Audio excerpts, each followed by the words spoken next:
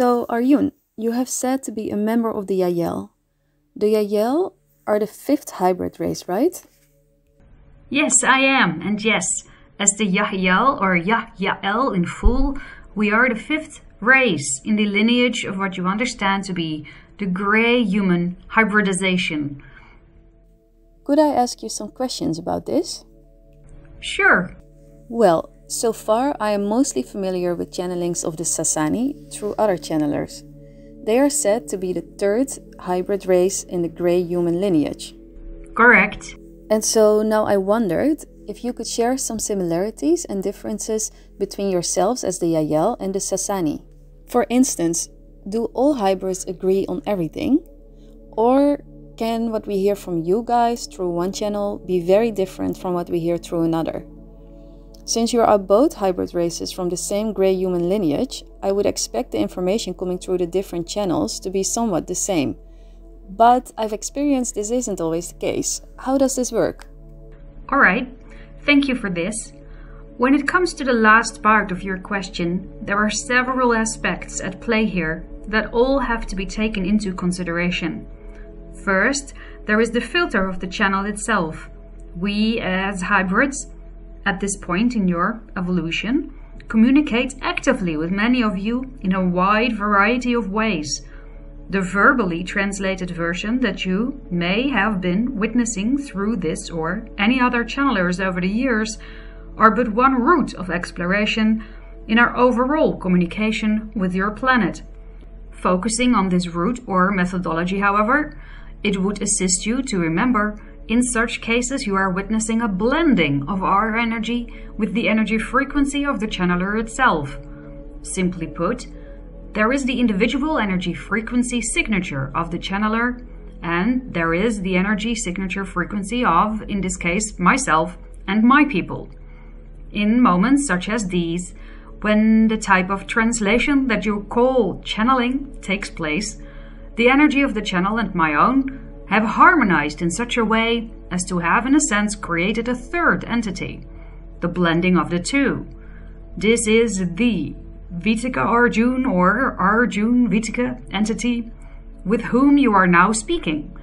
This is neither the one nor the other. It is truly the two now represented in one form, containing gradually fluctuating percentages of both ideas depending on the subject discussed and the relevancy for either the one or the other to be more fully presented in the third at any given moment. Some of you, when you tune in deeper with this blended entity, can pick up on the energy frequency of my species, their hybrid, quote unquote, or Yahyel energy signature, if you will. Some may even be able to receive that segment of the messages offered to you to you all that we choose to convey to you telepathically. These messages are often hidden in tonation, energy vibration, and if relevant, in movements or seemingly random sounds made by the channel rather than actual spoken words. Simultaneously, you quote unquote hear our energy quote unquote translated into a human language that is available to the channel and through the belief filters of the persona self, which are always present to some degree in any channel. If ever you would meet a medium claiming to be 100% filter free, this would mean you would be speaking to us directly, and no channel would have to be involved in the first place. As that is what 100% filter free actually means.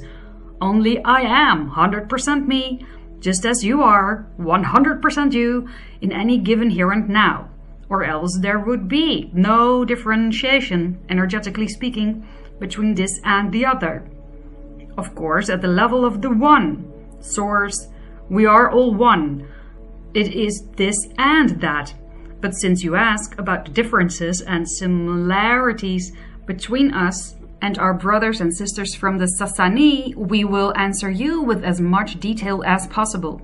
As on that level, like you, we too have chosen to co create and explore life in a way wherein we are both unique individuals and simultaneously all interconnected.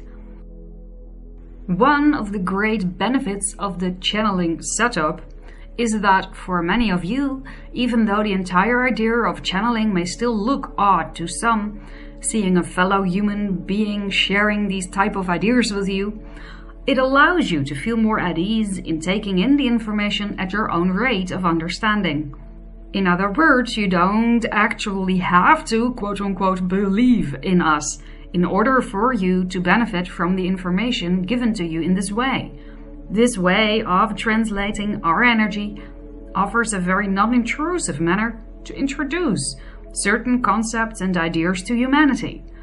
And it also allows us, in turn, to learn a lot from you. How you think and interact, and of course, it allows us to observe if or whether at all you choose to do anything with the information we offer. Does this matter a lot to you, whether we do anything with what you say?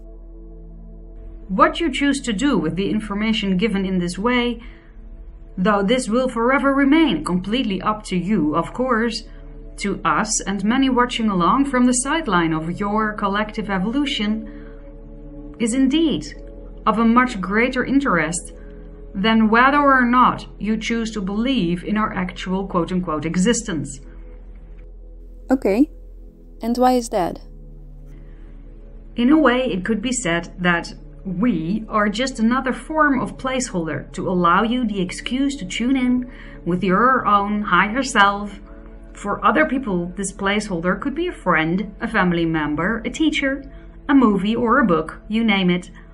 The universe, your greater self, will always find the route of least resistance to bring any relevant information to your awareness.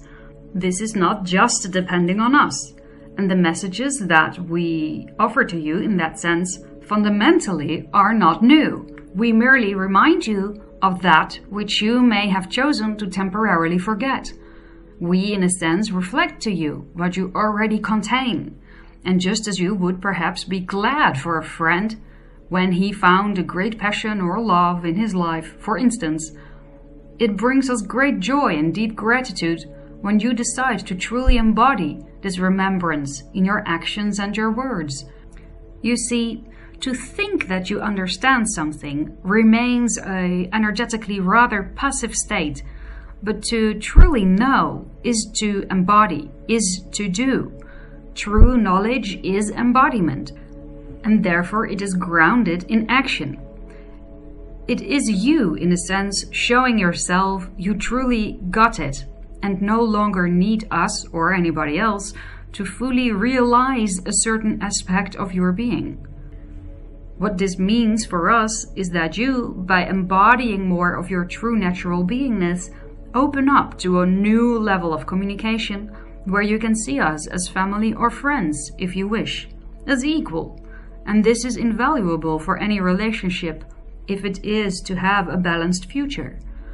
But even if you were to choose to continue your journey without any further communication with us, it would still bring us joy that you have gotten to the point where you have.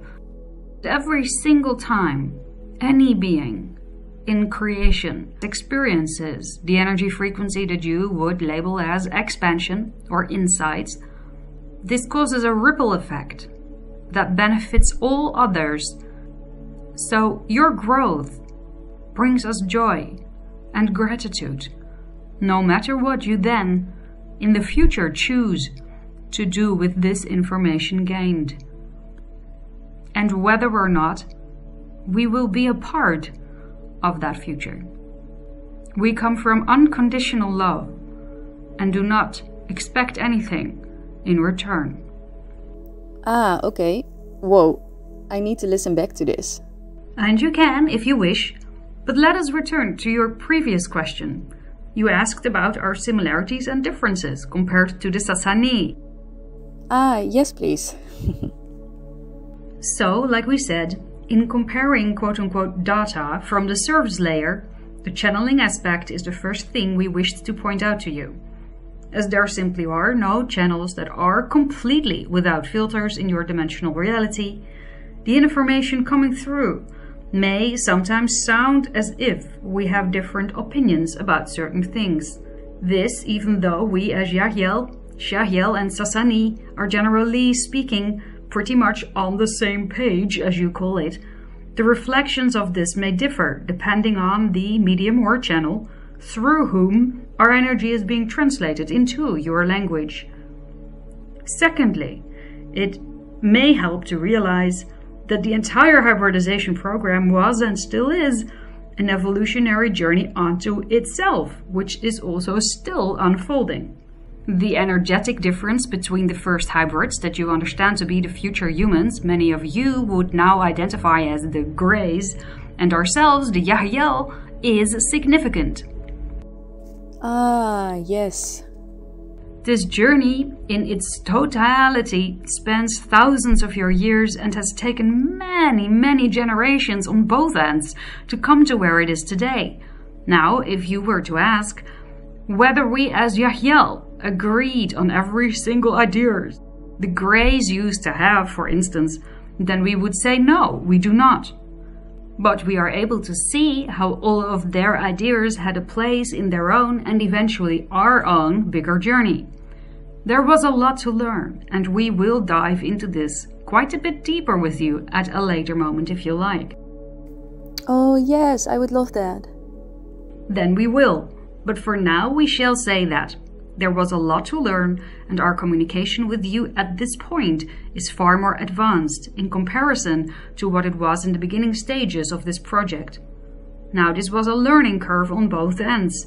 The growing curve of Channeling individuals on your planet, for instance, shows your own willingness to reach through the fabric of your own inner knowingness into the multidimensional overlap of our mutual existence. And on our side, we have learned to understand the makeup of your planet, your species, and also the spiritual themes of humanity to a far greater depth, which allowed us more efficient ways of interacting with you.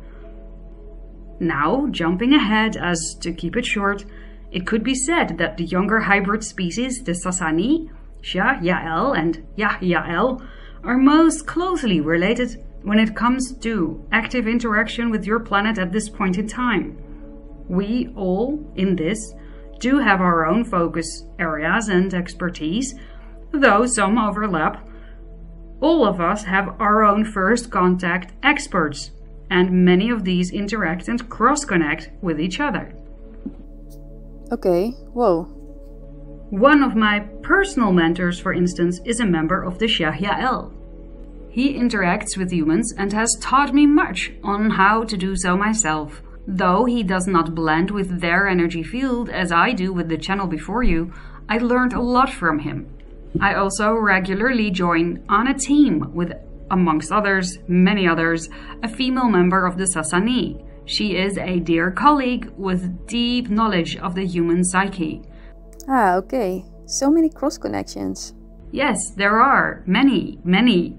Aside from these hybrid cross connections, we also communicate with interstellar alliances that hold many more species, many of whom are involved in one way or another with the evolution of your planet at this point in time and then we have, of course, our own evolutionary timelines, such as the one, quote unquote, where the Sassani have evolved on to the Shakani, offering them yet different roles to play in the overall picture, as now they have begun to move into a less physical state of being.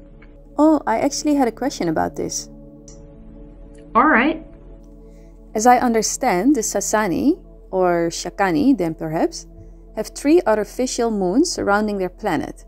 And as I have come to understand, these each provide for a certain vibrational energy on their planet that is beneficial to their entire species.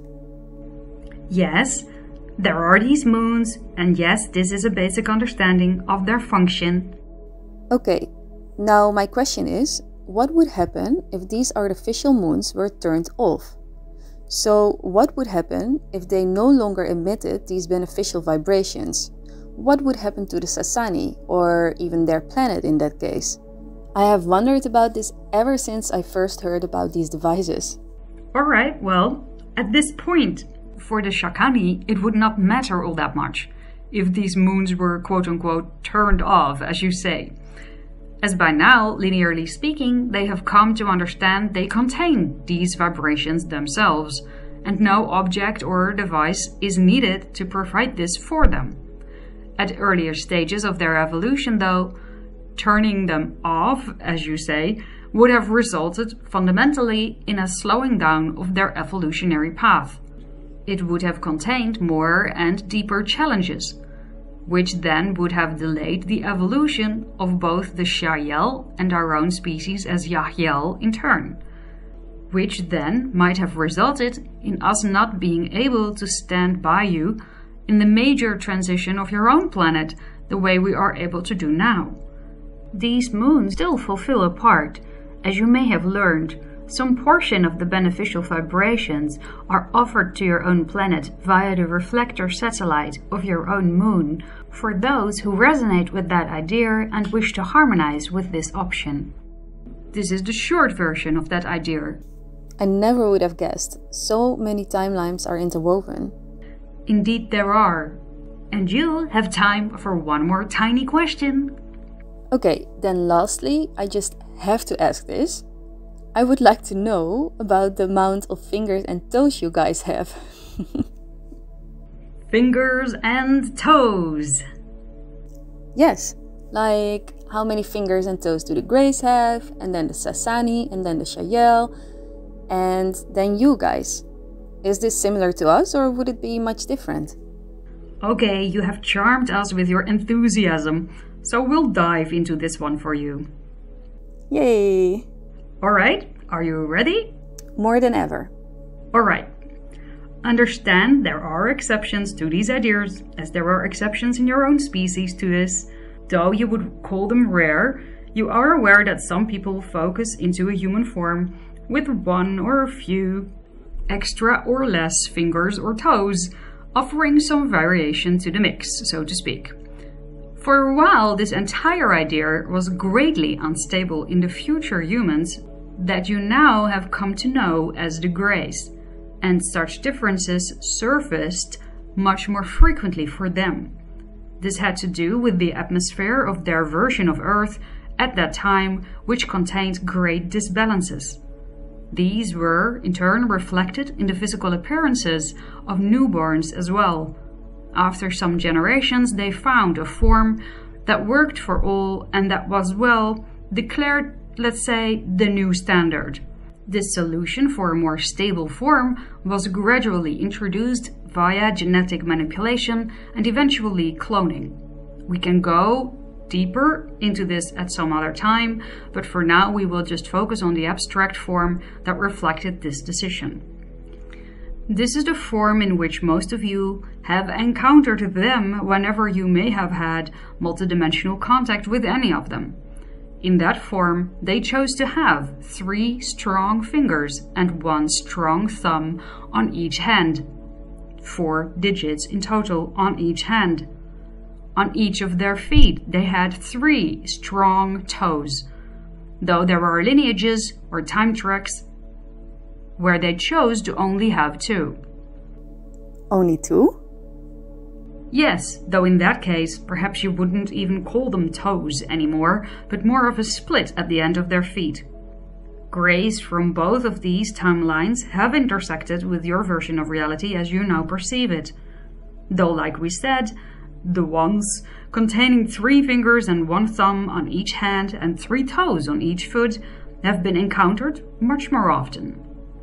Alright. Then, as the hybridization project begun, and they started to blend their own genetics with yours, the first hybrids that lived grew to be a little bit taller. Their hands and feet at this stage still remained mostly the same, again with some exceptions. Okay. Then followed the Sassani as the third race in the hybridization program, the Shayel as the fourth, and ourselves the Yahyel as the fifth race. Along this trajectory, a gradual evolution from three to four fingers per hand has taken place, the thumb adding the fifth, as for most of yourselves. The number of toes gradually increased as well, but sometimes still varies. Even in our own species, depending per family lineage, We as Yahyel count mostly either four or five toes on each foot. So some of you guys have only four toes on each foot? Well, I wouldn't say only. Four is enough for those who decided to choose that shape for this exploration, and 2 times 4 makes a pretty 8 in total. okay, sorry, I didn't mean to offend anyone. None taken. I was just surprised, but I think I'm getting used to the idea already. Alright, well, take all the time you need. it was our pleasure and honor to speak with you today. Goodbye and namaste.